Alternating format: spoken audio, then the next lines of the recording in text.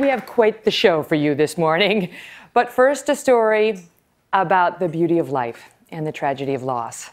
At the center is a husband, father, and grandfather who was by his son Beau's side throughout his two year battle with brain cancer, and all while upholding the duties of his office, that of the 47th Vice President of the United States of America. Joe Biden's political career spans nearly half a century, but it is the personal that grabs you in his new book, Promise Me, Dad, about the pain of navigating Beau's final year and how he and his loved ones have found a path to healing. The best vice president America's ever had, Mr. Joe Biden.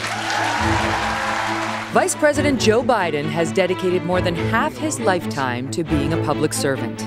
Decades tackling domestic and international challenges have earned him respect and given him purpose. And I think no statement could state our constitutional duty more clearly. He was born in Pennsylvania into a modest household, but it was the people of Delaware who entrusted him with their votes, electing him to the U.S. Senate in 1972. But the happiness behind the young senator elect's victory was short lived. Mr. Biden received a devastating call in the middle of a meeting. His first wife, Neilia, and infant daughter, Naomi, were killed in a car accident that also left his two sons, Beau and Hunter, seriously injured. It was in the hospital at his son's bedside that he took the oath of office. Congratulations, Senator. Thank you. Suddenly, this newly elected public official became a single parent overnight. He would famously commute on the train between Wilmington and Washington so that he could strike a balance between work and being with his sons each night. As fate would have it, Joe Biden found love again. In 1977, he married Jill Jacobs, a schoolteacher. And then the blended family grew when daughter Ashley was born in 1981. Joe Biden built his legacy over 36 years in the U.S. Senate. Then, in 2008, I accept your nomination to run and serve with Barack Obama, the next President of the United States of America.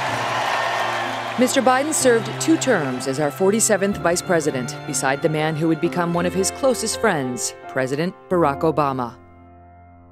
But in May of 2015, Mr. Biden suffered a loss for the second time, one no parent should ever have to live through, even one time.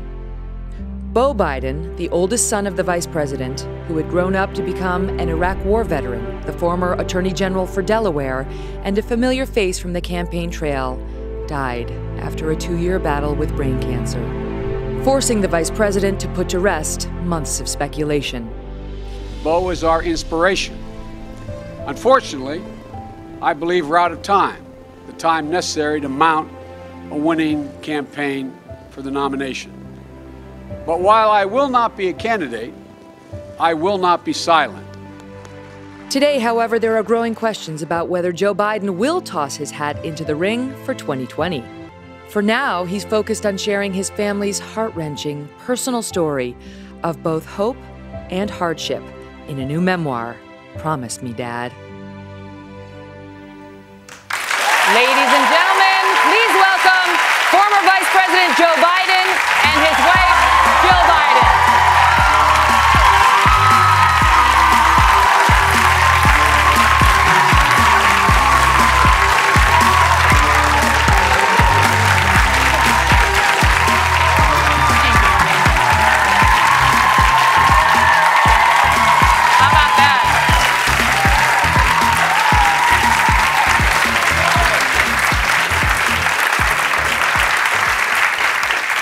About that? Wow.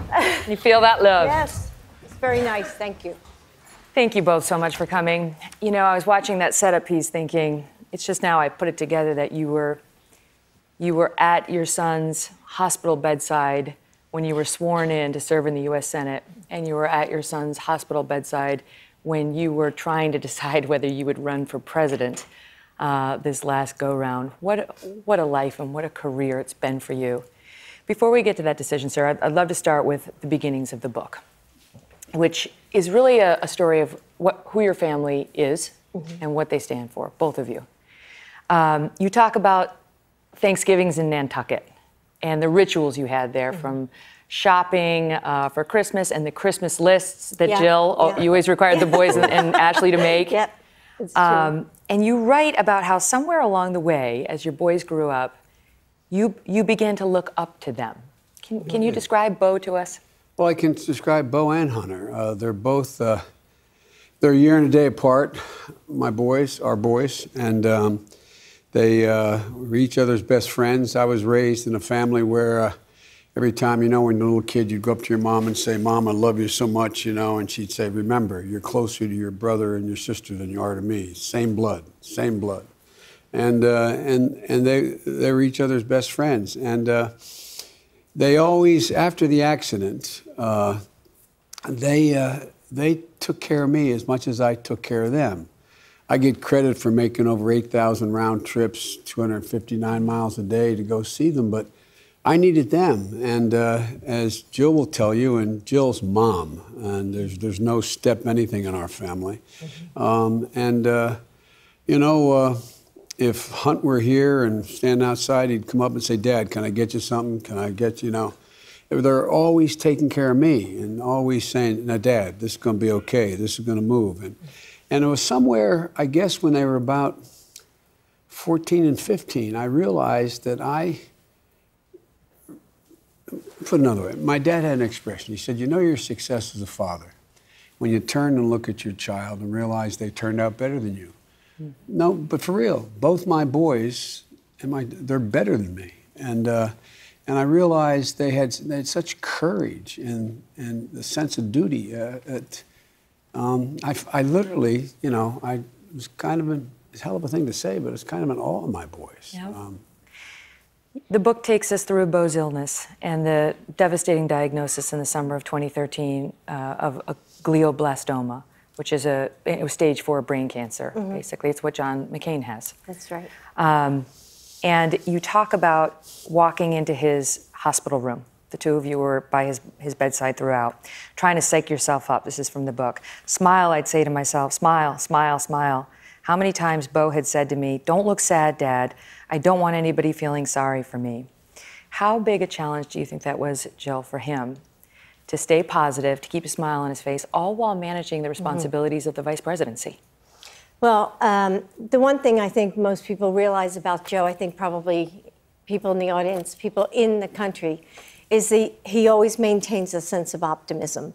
And you know, throughout Beau's illness, I mean, even though the diagnosis was was truly devastating, we always had hope. We never gave up hope. We tried treatment after treatment. I mean, month after month, but um, we always felt until the, the moment he closed his eyes, we always felt he was going to live because they told us, you know, we're going to try everything and things are going to get really bad, but he could make it. He could make it. And um, I think 1% of people who have uh, this brain cancer make it. And we thought, why can't Beau be that one? Mm-hmm. Why can't he be the 1%? And so, so we always had hope. We always had hope. You, you talk us through in the book about an extraordinary conversation you had with President Obama when money was running tight. People think, you know, he's vice president of the United States, he must have money. He's been in public service his whole life, so he does not have money. I was uh, listed as the poorest man in Congress for 36 years. Congratulations. I hate when he says that. Number one. but it's true. But you, at, at, one point, things got so tight because the hospital bills were mounting, yeah. and, and Beau was in public service as well. You sat down with President Obama and said you might have to take out a second mortgage on your house in Wilmington. Tell, well, the, tell well, the audience what well, happened. what it was. It, it, wasn't that. It was that uh, Beau uh, had this enormous sense of duty. He worked every single day. He'd go in the morning at 6 o'clock, he'd go for three hours of either speech therapy or physical therapy in Philadelphia. He'd have the state troopers, he was attorney general, drive him back to his office. And he was always worried that people would think that if he didn't have the cog, he was beginning to lose the ability to, to recall proper names. And, but it had nothing to do with his cognitive capability. But he was so proud, he did not want to be in a position where he was accepting a salary if people thought he couldn't do the job. And so we thought that he may very well, before his time was up as Attorney General, step down, and he had no other income. And I was telling Barack that uh, th- that was the case, and I said, but it's no problem and our son Hunter, who does very well, could take care of it. And I said, and besides, I could, uh, I could take out a second mortgage. It's not a problem. And he got up from the table. He was emotional. He got up and he walked over. He said, Joe, don't, don't you, you, you love that house. Don't do that. I'll give you the money. I'll give you the money. That's who the And, uh, Obamas were. And that's that's that's who he is. That's the that's and we never needed to do that. And my son Hunter had the ability to take care of it. I don't know why I even got into the conversation except to try to explain to the president uh, that Beau was uh, struggling, and he's the only one I told anything to. I mean, other than family. He's the only one because I felt obliged to let him know exactly what was going on because of my responsibilities and duties. So he's a generous guy, he's a genuine friend, and Michelle is an incredible lady. There's An incredible much more to the story, as you know, including I'm going to ask the former vice president about the rosary on his wrist, those rosary beads. When we come back, more with former Vice President Joe Biden and Jill Biden, and we'll learn the promise that Joe made to his son. before his wedding. Hello, Today fans. Thanks for checking out our YouTube channel. Subscribe by clicking that button down there and click on any of the videos over here to watch the latest interviews, show highlights, and digital exclusives.